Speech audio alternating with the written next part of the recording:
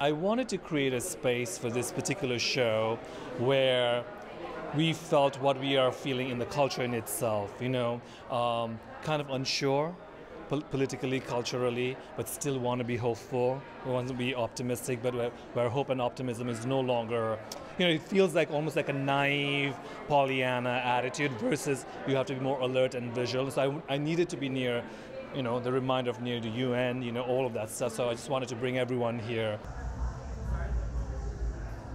Spring Collection is a celebration of those often watched and monitored, scrutinized, but unseen.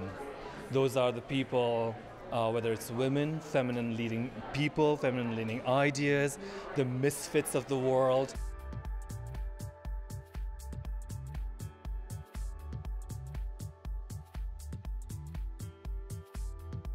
What became important for me personally was the storytelling aspect of it. That's why, like, instead of just doing a, a regular show, I wanted to create an experience, tell a story, because as a creative person, we are storytellers, and storytellers are healers, you know, and so um, that's how I've approached everything.